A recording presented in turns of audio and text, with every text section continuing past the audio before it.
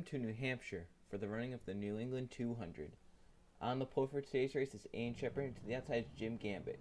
John Gambit is third, fourth is Derek Bouchard, and Paul Minnick is fifth. Points leader Kevin Bandon starts 22nd today, so he'll have some work to do.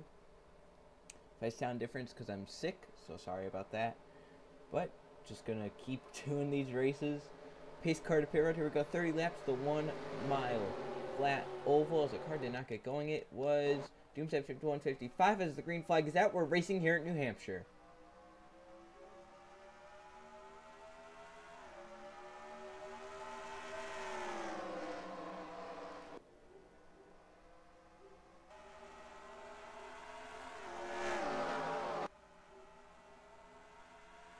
They race their way into three and four. Ian Shepherd is out front. John Gambit and Jim Gambit side by side for second. It looks like John's going to clear Jim off of four.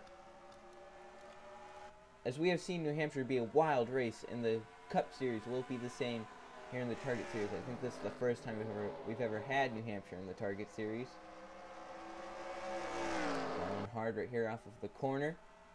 Down the backstretch. Looks like three wide back there with Gabriel Warner in the middle. TJ Hanley down to the bottom lane. Minnick gets clear on the outside. He sorts that out.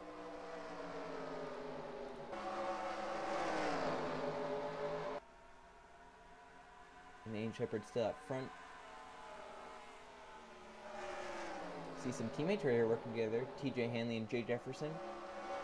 Nose to tail in the bottom lane. The 44 and the 10. It looks like the 44 might be able to get away from that 10. As the Gambit's still battling hard for second. Jim back to the inside. John and Jim's going to take it now off of four. Can he hold it, though, is the question. As it is really hard to make a pass here. Very flat. You need to set it up. It might take a few laps. Ooh, Jim got a little loose there. I saw he might lose that position to John again. John gets on his back bumper. Through three and four. And Ian Shepherd has just pulled away from this battle. Go back to the nearest battle. It looks like there's not really one. TJ Hanley and Jason Neo Jr. getting into a battle a little bit. And here comes Tommy Turbo in the 87. And up front there you see Derek Bouchard. It looks like he's going after John Gambit. Can he get it into the corner? I don't think so. That might allow Michael Gregory a spot different lines that cars run here. That that could also be key to who does well in this race. You saw Jim Gambit lower than Ian Shepherd through three and four. Let's look at Michael Gregory's gonna get past Derek Bouchard maybe if they come off the corner. Looks like he Oh, it's gonna be close right here, but Michael might have it. Oh, caution has come out for the first time here today. And it looks like Dan Bandon is involved with Gracie Acevedo. The caution is out and Aiden Shepard led us back as tough damage for Grace Acevedo. Dan Bandon, Matt Thiessen also involved. Bandon with the most damage though. Let's see what happened. I think Grace Acevedo kind of started this. Unless he was farther back. Oh no! Oh, Bandon got hit hard right there into the wall with Matt Thiessen. Let's look at that again as I was looking for Grace Acevedo. I don't see him anywhere up here. Yeah, that's a hard hit right there or Dan Bandon, Matt Thiessen. Tyler Flood able to squeak by, it looks like. Acevedo already had damage. Wondering if he got spun out earlier in the race, but he was towards the back, maybe. I'm wondering if he was at the back of the field, so they didn't... Yeah, they did not call a caution because he was at the back. Oh, Thiessen pushed Dan Bandon up into Acevedo, so now we know where the contact came between Bandon and Thiessen. Bandon probably was not too happy with Thiessen for forcing him up into Acevedo. Tried to force Thiessen up into the wall, and Thiessen just held his line, put them both on the wall. Tough hit for those two drivers. So Aiden Shepard led us back to the yellow, and they're all on pit road for our first pit stop of the day, just before the third way mark. See Shepard in. See who gets out in front. Michael Gregory just took fuel only. He gets out away. Gabriel Wanderley, the same. Ryan Keese. And the rest on back. Take two. So that's interesting. Be interesting to see how this goes. Some people are taking four, some take two, some take no tires. Michael Gregory with no tires is right now out in front in the lead. We will have our first restart of the day with 20 to go, the third way mark. As you can see, Doomsday for 125 never made it to the line, so he never started the race, and Dan Bandon is out of this race from that wreck. So it'll be Michael Gregory up front, and second will be Gabriel Wanderley, and third is Ryan Keese, fourth is Aiden Shepard, and fifth is Jay Jefferson. Jason Smedo Jr. is in sixth, uh, Derek Bouchard is seventh, eighth is Hacking Hater, ninth is Reese Dooley, and tenth is Derek Bouchard. In eleventh is Luke Rainey, twelfth is Tommy Turbo, thirteenth is Jim Gambit, fourteenth is Justin Heath, and fifteenth is Jonathan Rains. In 16th is John Gambit, 17th is TJ Hanley, 18th is Paul Minnick, 19th is Levi Shones. and 20th is Jake West. Set your top 20s. We get set to go back green. That's half of the field. You're fast half the race. So far belongs to John Gambit with a 26.483, but not far behind. Was your leader before this caution. Aiden Shepard with a 26.488. Here we go. Pace car into pair. Michael Gregory is your new race leader second guy to lead today as the green flag is back out. And Gregory stepped on the gas to get away from Gabriel Wanderley, and Aiden Shepard did not get such a great restart there. Remember, he was your leader before this caution came out. Now he's stuck back, so it'll be interesting to see how he does. As Gregory went up the track, Wanderley gonna try and take advantage of that. And can Aiden Shepard find his way back up towards the front? Wanderley way up the track. Jay Jefferson's coming for fourth Ernie Shepard.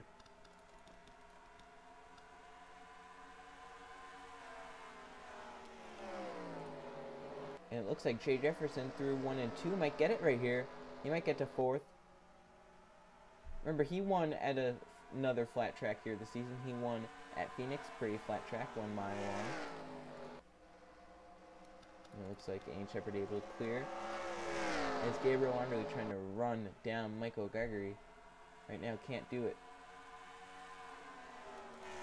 Yeah, once you get that clean air, man, it is huge. And that might be why Gregory did not take any tires. He wanted that clean air.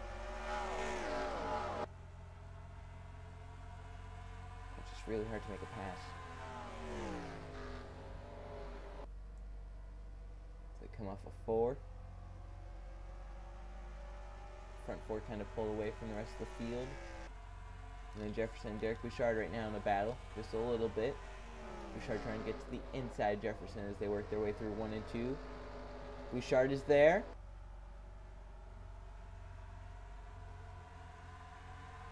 Does he a run into three and four to clear him? He drives it in hard. Can he come up in front of Jefferson? He does. That's your new fifth place car right there. It's Mio Jr.'s now in the back bumper of Jefferson. So that 10 car starting to fade just a little bit. Halfway next time by. Ooh. Smino Jr. bobbed a little bit, and Reese Dooley gets to the bottom lane. They are side by side, door handle to door handle as they come down the back. Looks like Samido. Ooh, look at Reese Dooley. Tried to drive it in there to keep it underneath. Ooh, don't come up into him though. Ooh. That's close right there. That's good stuff. So halfway that time, your race leader is Michael Gregory. He took it from Aiden Shepard under the caution. As Reese Dooley is going to grab that spot from Smido Jr. right there. So the 62 making his move up towards the front. Here comes Aiden Shepard back. He's going for third. He had to let up though. And Derek Bouchard has a little bit of a run.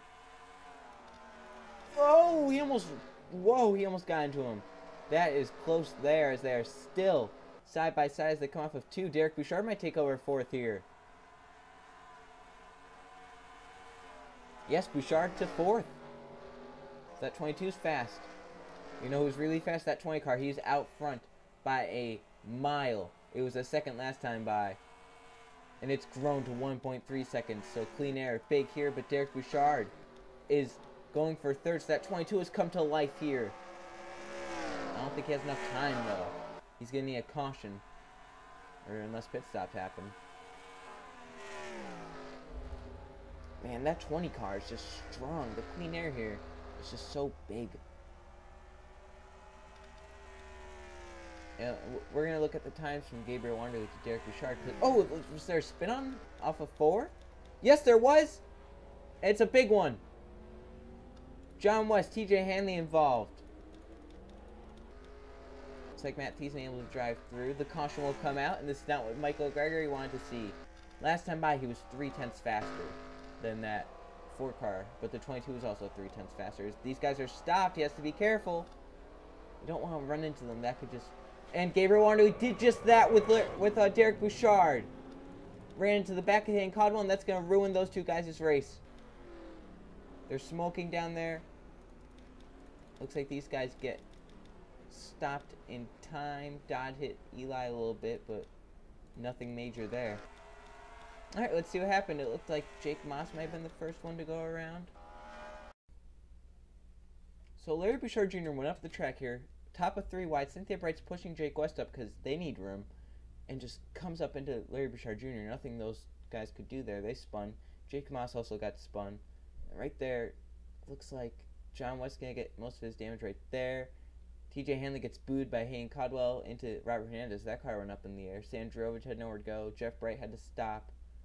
Sabinoth Irvine there get damaged. Gracie Sweeto flew in there. So that was the wreck. Let's go on board with a few drivers. Joe Sandrovich is back here, having the best of days, and he was looked like able to miss it.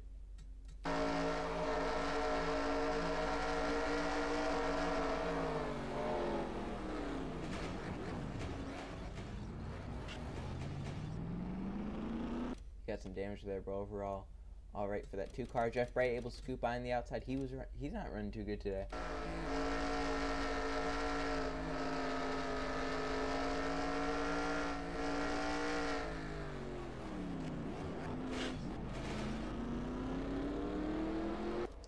And have one more fight for clean air as second and third just got taken out after they ran back to the yellow flag, battling for every position. They ran right into Hayden Caldwell. Looks like Derek Bouchard was going to avoid, but Gabriel Wanderley just got both of them there. So Gregory, will he pit? Will he stay out? He's on pit road, but everyone's staying out. Oh boy. Aiden Shepard's back up front where he was at the beginning. Michael Gregory comes down pit road. He surrenders the race lead, and he will not finish in the top 20 today, it looks like. Aiden Shepard will be your race leader. Restart with only seven laps to go, seven miles, and as you can see, Gabriel Wanderley is out along with Hayden Caldwell and Derek Bouchard. Leaves 37 cars left in this race. Michael Gregory went down pit road with Jay Jefferson and others. They will be 26th on back, so tough break for them. Aiden Shepard will be a race leader, trying to hold on win over Reese Dooley in second. Third will be Tommy Turbo. Fourth is Jason Smito Jr. And fifth is Hacking Hater. Jim Gambit sixth. Seventh is Levi Shones. Eighth is Luke Rainey. Ninth is Jonathan Rains. And tenth is John Gambit. So here we go.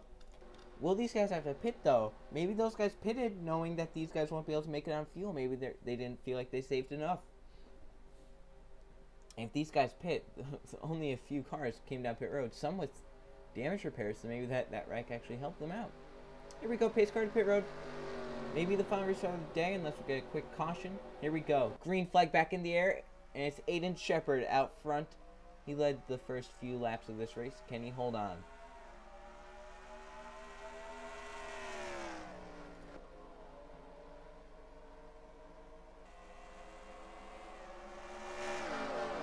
Down the backstretch they come. Shepard has a pretty nice gap over Reese Dooley Center 3 and 4.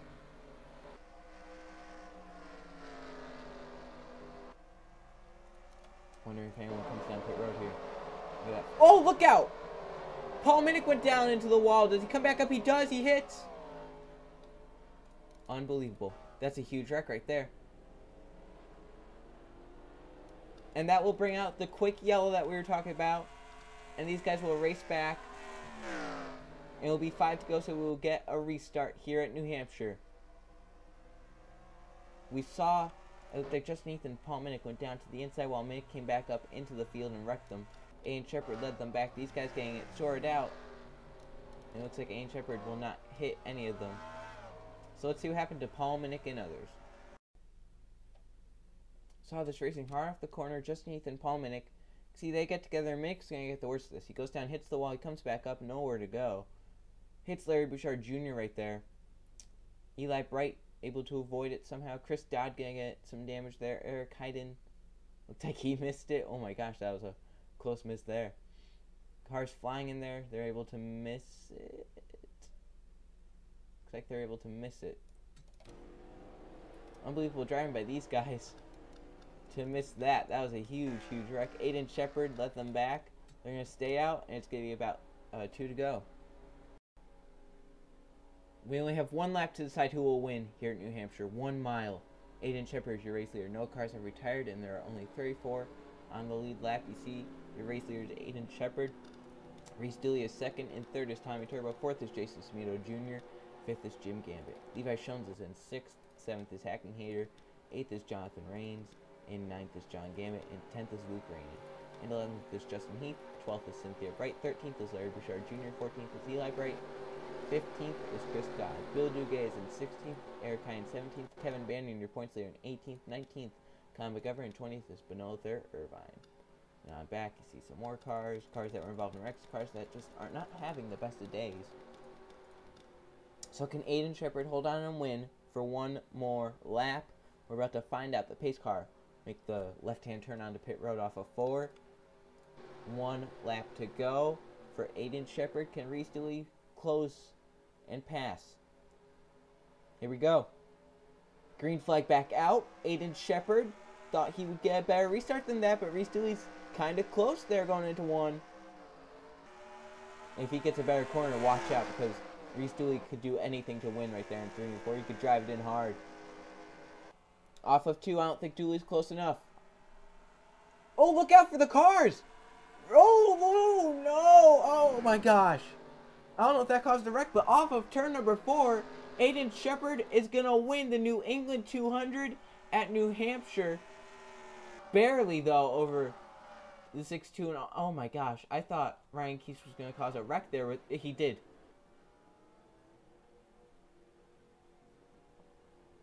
I really thought he was going to wreck the leaders with the way he was coming up. Let's see it. A wreck was caused, but I don't think it was because of these guys. They're coming out pit road very, very slow. I think Gracie Acevedo might have run out of fuel, or they both might have. Look at this. I think Acevedo did, because the 15 started going. Look at that. Look at Eric Heiden, all the way to the bottom lane. Cars were running out of fuel here. And then they wrecked up ahead, probably trying to get into pit road. Larry Bouchard Jr. again. He just got wrecked by Justin Heath. What the heck? Happened here? Heath might have run out of fuel. Did he not? What happened? There. Oh, he was trying to avoid, and he probably did not.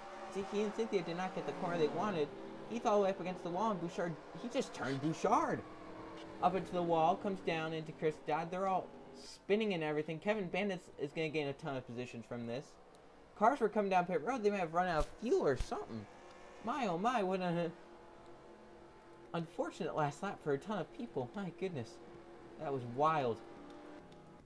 Alright, let's check the finishing results from the New England 200. Aiden Shepard able to win it. Here are the finishing results from the New England 200 New Hampshire. Four caution flags for 12 laps. Only two leaders. And as you can see, Aiden Shepard led the most laps, 18. He started on pole, ended up winning the race. Reese Dooley came close. If there's one more lap, he might have had it. He ended up second, Tommy Turbo third, Jim Gambit fourth. Fifth was Levi Shones. In sixth was Jonathan Rains. Seventh was John Gambit. Eighth was Kevin Bannon. He's still your points leader. Gary May ninth. And tenth was Tyler Flood. So there's your top 20. Man, what a wild last lap there with the cars out of fuel, the cars slow, the wreck, everyone come down pit road, and a lot of people were retiring from the race. See down here, Michael Gregory led 12 laps. He was involved in a wreck. Finished 37th.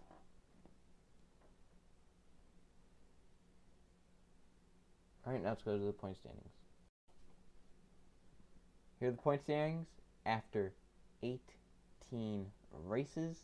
It's Kevin Bandon, your points leader. And second is Jim Gambit. Third is now uh, Reese Dooley. Gary May fourth, and Jeff Bright fifth. In sixth is Jonathan Rains. Seventh is uh, Justin Heath. Eighth is Jay Jefferson. Ninth is Gabriel Wanderley. And running at your top ten is Matt Thiessen. So there's your top 20 in the points.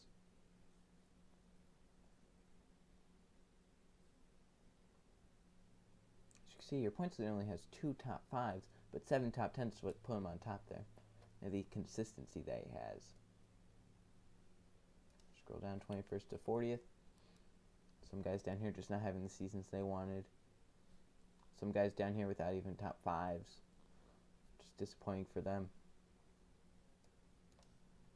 But everyone has a top 10. Alright, so the next race, we have the KFC 300 at Kentucky. See you guys then.